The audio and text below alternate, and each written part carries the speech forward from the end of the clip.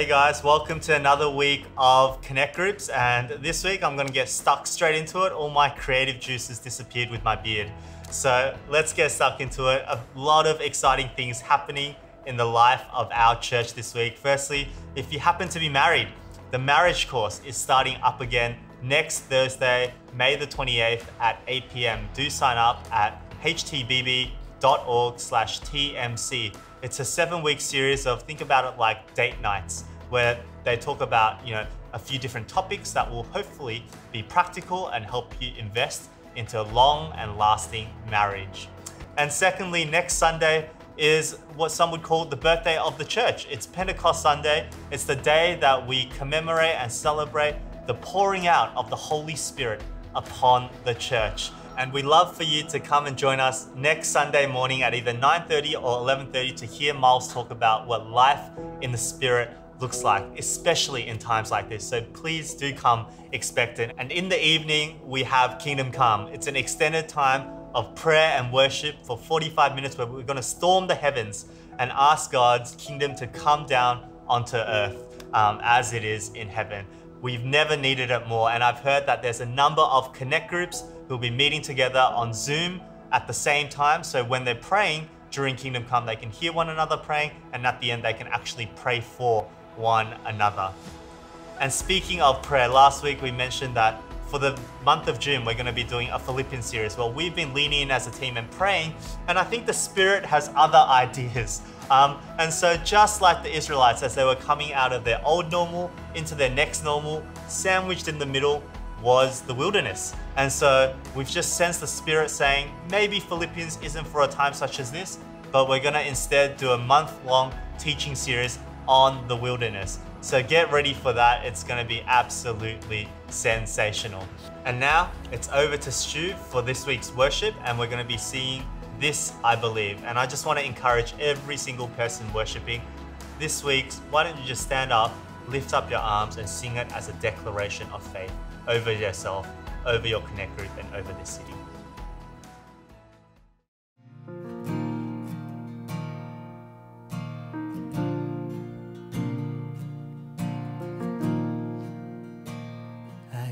Cast my mind to Calvary, where Jesus bled and died for me. I see his wounds, his hands, his feet, my Savior on that cursed tree. Body bound and drenched in tears, they laid him down in Joseph's tomb, the entrance sealed by heavy stone. Messiah still and all alone.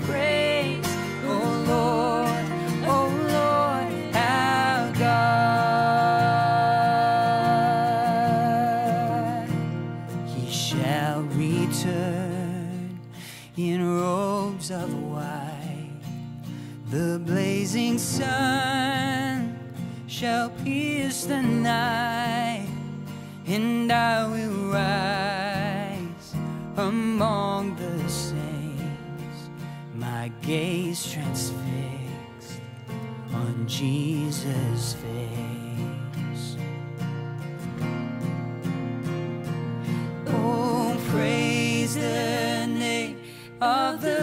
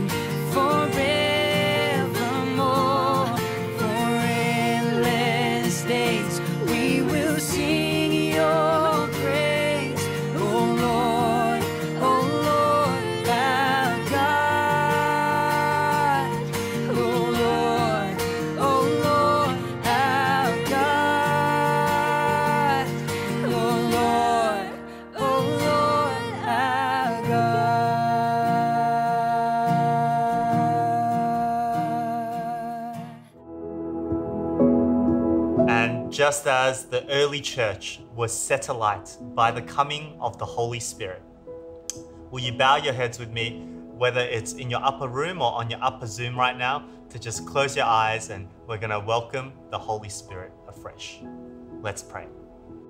Holy Spirit, we welcome you. Holy Spirit, we know that you are the counselor of truth, our help in need, and the one who fills us with the Spirit of God. Holy Spirit, we pray this day to come into greater communion with you. You so graciously work to intercede for us to the Father, but also to comfort us with your peace that goes beyond all understanding. So, Holy Spirit, we ask, come. Come, Holy Spirit. Fill us up afresh. In Jesus' name. Amen. Amen. And as per usual, it's now over to Kate and Dan for this week's Bible study.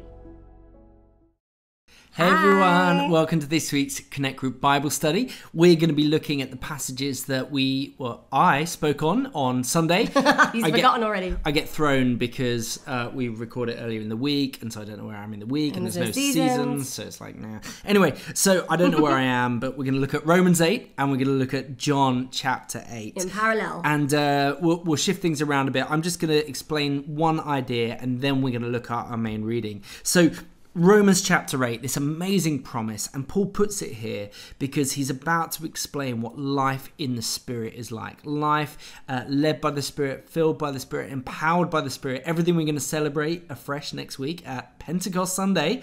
Um, it's like my favourite time of year. Be expectant. It's but he knows that you're going to struggle to receive that if you don't you accept don't accept this. Yeah, this is key. So let's have a look at it. There is therefore now no condemnation for those who are in Christ Jesus. How does that work? For the law of the Spirit of life has set you free in Christ Jesus from the law of sin and death. And one of uh, a brilliant illustration that a friend of mine used said, look, when you get in a plane, it's not that the law of gra- like the law of gravity is working on us now. We're we're on the ground, not or on the floating. floor because of the law of gravity. Now, when you get in a plane and you fly, it's not that the law of gravity stops acting on you, it's that a greater law is now at work on you, the law of aerodynamics. And the mm. aerodynamic force is greater than the gravitational force, which means you can go on holiday in Langkawi. Like you, you get your plane flies and you travel. And um, thing is, we get caught up in all this stuff, and it's the it's not that that that temptation that sin no longer has a pull on your life. It's that a greater force is now at work in your life. This law of the spirit of life. And um, you know, sometimes we look at some people and think, well, of course, you know, Mars and Sarah, of course, the spirit loves to use them because you know they're great. They're they're so aerody- aerodynamic, like a fighter jet. But I'm like this beluga Airbus kind of plane. Like you'd never think that that would fly, but it does. Because the maths That is adds a weird plane. I know, and it flies because the maths adds up. like it doesn't matter what you look like. Uh, I mean, the analogy does break down eventually, but but but the maths adds up, and so you fly. Now, uh, the other bit of this analogy that I love is that nobody actually knows why planes stay in the air. Like there are two ideas of why aerodynamics works, um, but they still don't know. Scientists can't fully explain it in its fullness, but yet we all still get in a plane and we all go and travel. so nuts. yeah. So, um, and you could view the cross of that. We don't fully understand exactly how it works, but we see that it does work, and so we can receive it um, for ourselves. And one of the most beautiful illustrations of this is found in John chapter 8, uh, the story of the woman caught in adultery, or as we see, maybe it'd be better titled, the story of the men caught with rocks in their hands. Yes, that would be a better title. Yeah, it would be maybe. So um, let's. We're going to start at uh, at the beginning of Romans eight, which uh, John chapter eight, John which for some reason starts at verse fifty three. The beginning. Haven't got time to go into that now. Uh, but Kate, why don't you read it to us? Let's go. Oh, and Oh, as per usual. Oh yeah, mark. question mark for any questions, exclamation mark for anything that stands out to you, and an arrow for anything that you think, oh, I can apply that to my life. Anyway, let's go. So we're John chapter 8, but starting at verse 53, the one before. Then they all went home, but Jesus went to the Mount of Olives. At dawn, he appeared again in the temple courts where all the people gathered around him and he sat down to teach them. The teachers of the law and the Pharisees brought in a woman caught in adultery. They made her stand before the group and said to Jesus, Teacher, this woman was caught in the act of adultery. Can you hear our girls uh, singing in the background? In the law of Moses commanded us to stone such a woman. Now, what do you say? They were using this question as a trap in order to have a basis for accusing him. But Jesus bent down and started to write on the ground with his finger. I would love to know what he wrote. I'm sure we can imagine. When they kept on questioning him, he straightened up and said to them, Let any one of you who is without sin be the first to throw a stone at her. Again, he stooped down and wrote on the ground. At this, those who had heard began to go away one at a time, the older ones first, until only Jesus was left, with the woman still standing there. Jesus straightened up and asked her, Woman, where are they? Has no one condemned you? No one, sir, she said. Neither do I condemn you, Jesus declared. Go now and leave your life of sin. Amen. So, one of the key ideas that this passage uh, teaches us is that condemnation is like a boomerang. You throw it in one direction, but it always goes in another. And there's, it's basically like a, a great theme on YouTube. I won't uh, distract you now, but of people kicking footballs and it landing back in their face. And you can spend a lot of time uh, on that. But basically, condemnation, when you throw it at other people, eventually comes back and hits you. But also, when you throw it at yourself, it eventually starts hitting other people as well. And uh, and the the line that I use for this is this story says to us drop the rock. The rock you've got in your hand that you want to throw at others, drop it. The rock you want to throw at God, drop it. And the one you want to throw at yourself, drop that as well. And Which can um, be hard.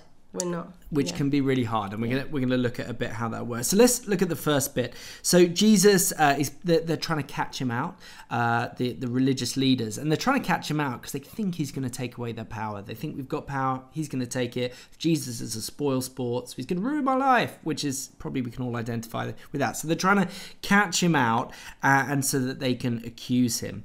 And so the teachers of the law and the Pharisees brought a woman caught in adultery. Now, it's really helpful here if you can forget that you know the end of the story. If you forget that you know the end, there's so much drama. It's like, mm. is the woman going to get convicted? Is the woman, Jesus, going to be condemned? Is the leaders going to get condemned? And then at the end, the leaders are gone, the crowd's gone, the woman's gone, it's just Jesus and you and the reader. And it's like, wow, what's Jesus saying to me?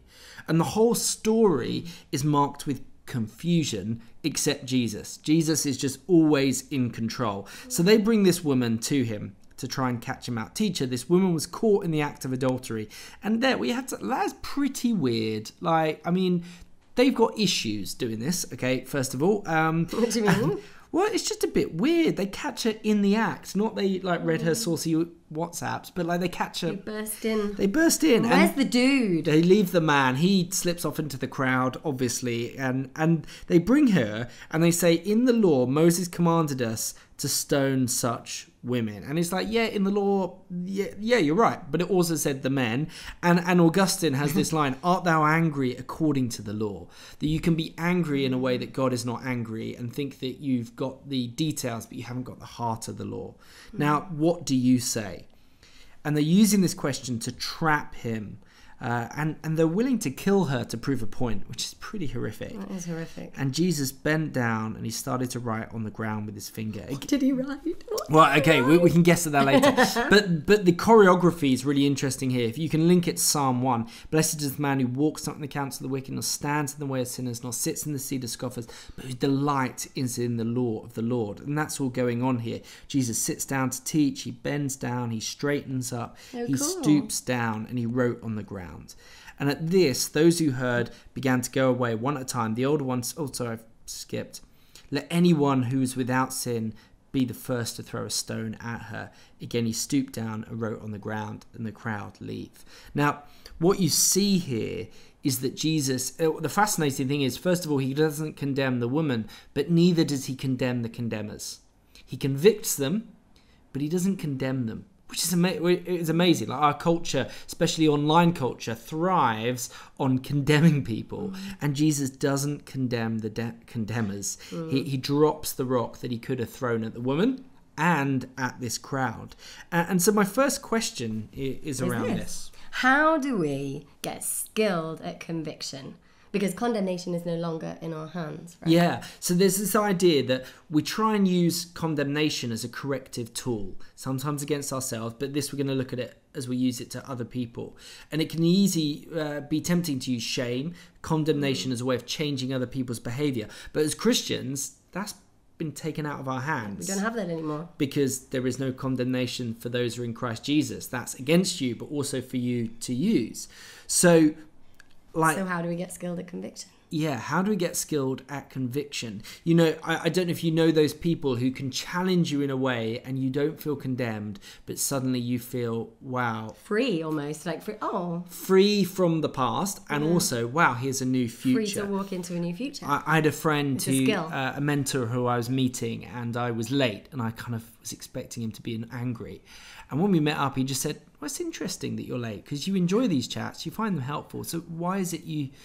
Why do you think you? why do you think you forgot? Uh, and we talked about that. And I asked him about this a few years later, and he said, "Oh, you know, it's always more fun to play detective than judge, and like being a judge is quite lonely."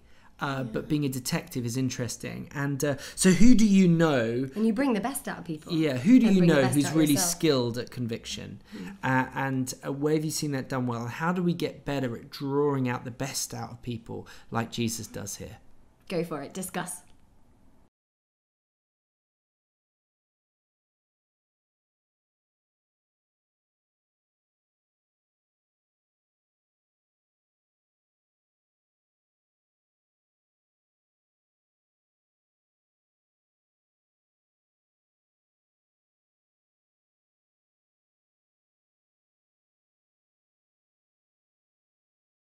So the first rock that we drop is the rock that we'd like to throw at other people. Now let's look at the rock that we're tempted to throw at ourselves.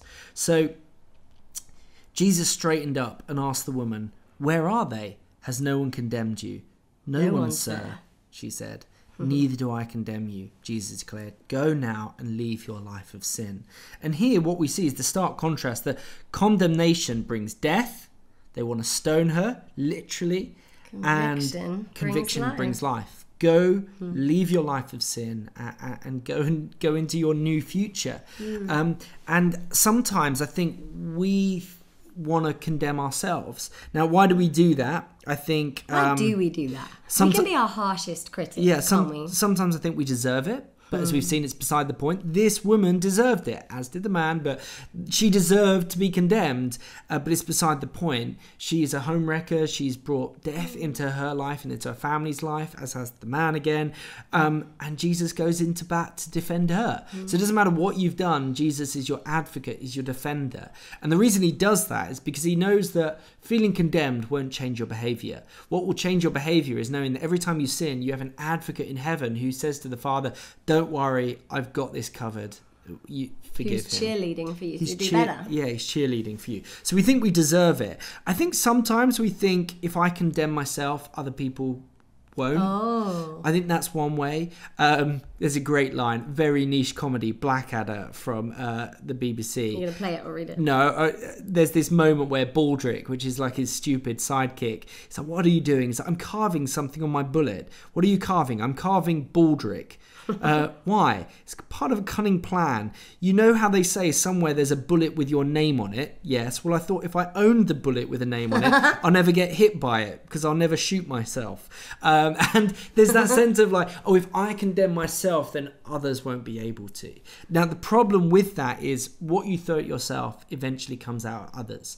There's a great line of never speak to yourself in a way that you wouldn't speak to a best friend. Dan says this to me a lot. Yeah, because sometimes like people are so harsh on themselves. You're like, if your best friend came to you and just listed what you've listed, you would not be saying you need to buck up your ideas, did it? You'd be like, go Be easy on yourself. yourself. Be kind to yourself. Have a bath, eat some chocolate. Yeah, and uh, and have a go again tomorrow. Um, and I think the, the the problem with all of that is that it's this internal dialogue that says God doesn't like me, God has condemned me, and what we see here is Jesus could have thrown the rock, but he's dropped the rock that he could have thrown at you, and therefore you should probably drop the rock that you want to condemn yourself with uh, as well. An even better rule of thumb of not speaking to yourself like you wouldn't speak to a friend is never speak to yourself in a way that Jesus wouldn't speak to you. In Isaiah, we're told, "A bruised reed he will not break, a smouldering wick he he will not um, uh, snuff out." Yet he speaks directly.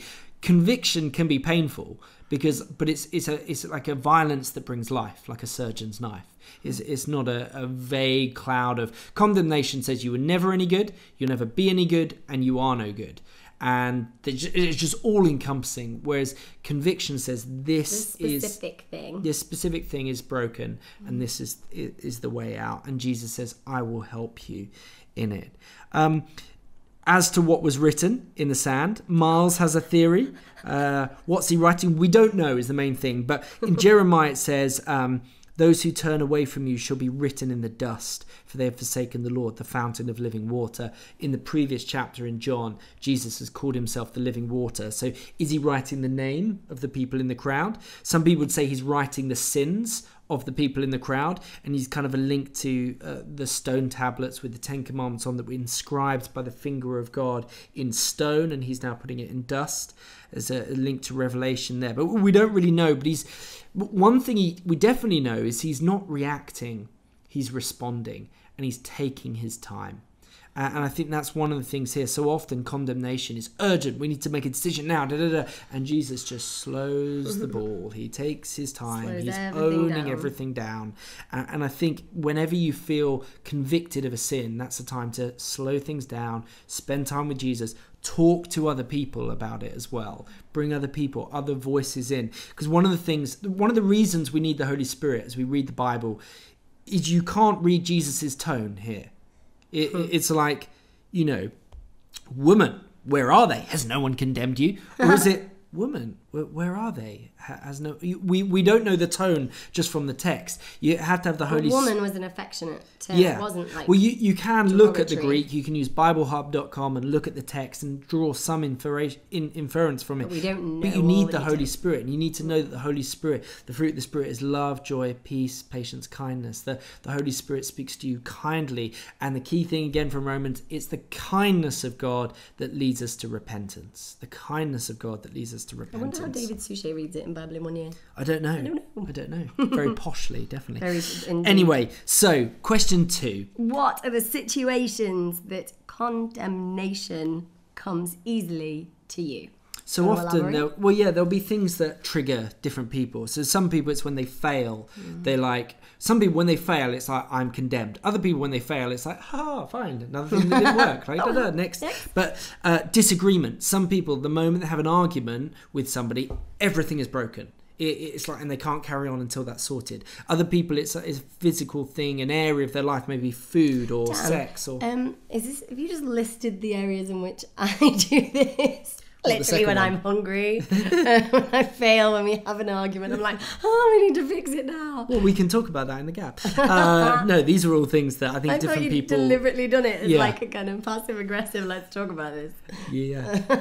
There's no condemnation, but there is passive aggression in the church. Anyway, Uh, no, no, no. Um, and and then the next question is, how do you respond to condemnation?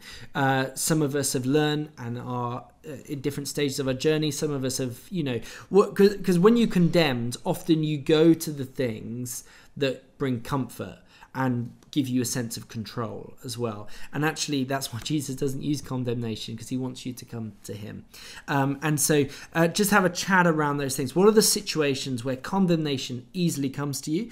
And when you feel condemned, what are the things that you go to? How do you uh, respond?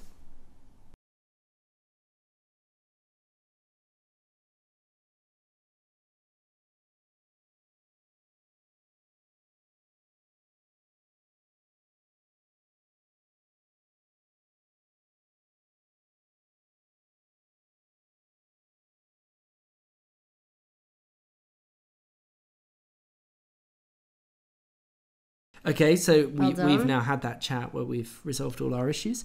Um, the last thing just to say here is that uh, I think one of the reasons condemnation does come is that is that people think, well, I still struggle, and there's still well. We, we're also aware of the consequences. As I said, no condemnation doesn't mean no consequences. If you kick a dog, God will not condemn you, but the dog still may bite you. So there are consequences. Mm-hmm. You know about that. You you nearly kicked a dog. Do you remember? Oh, they yeah. tried to attack me on tried to attack Kate, and I, I, I, I squared up to it, like- and the dog and the just dog, got like, more you. aggressive. And I was like, You're like, "Oh, "Ah!"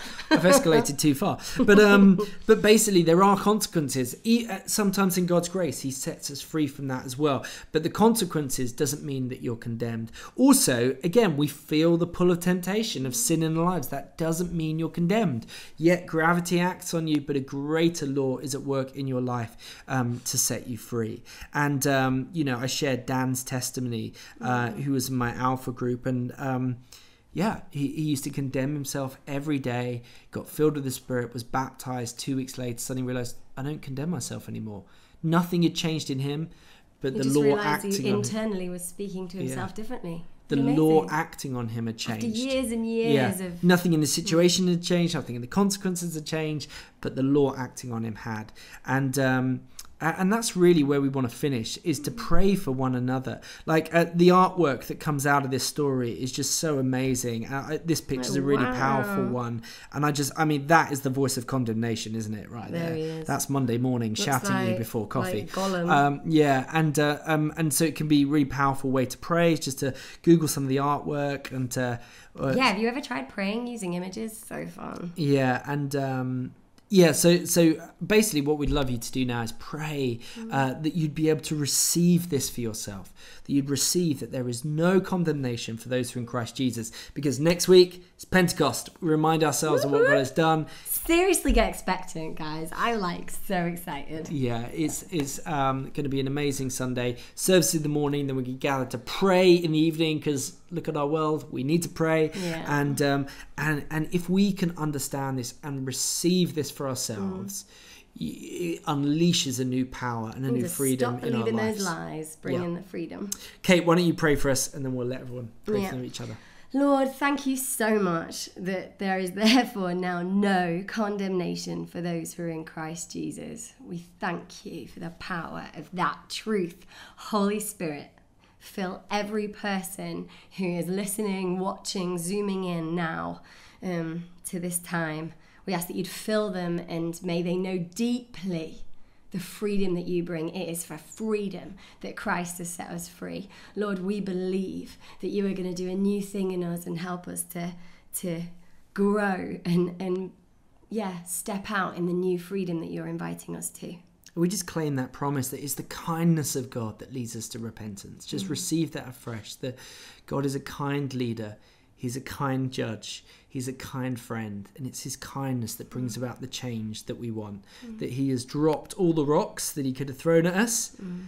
and therefore we can drop them as well.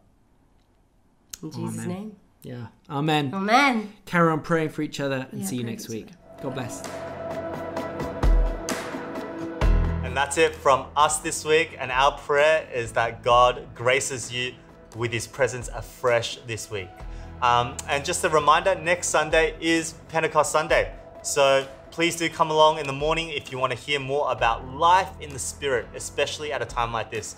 And at the five o'clock service, we have Kingdom Come. It's going to be absolutely epic. So you don't want to miss out at all. And also, the marriage course happening this Thursday, 8 p.m. Sign up at htbb.org slash TMC. Hope you all have a really blessed week.